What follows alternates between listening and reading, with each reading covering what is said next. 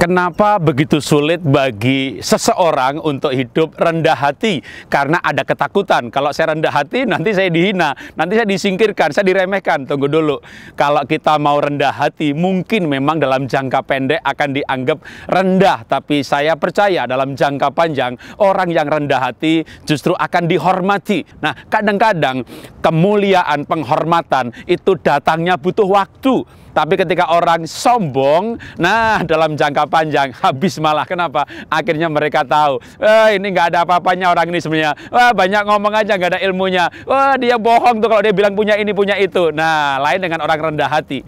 Orang yang rendah hati akan disukai orang lain, banyak teman dan penghormatan akan muncul dalam jangka panjang dan lebih awet hidup dalam kemuliaan karena kerendahan hati.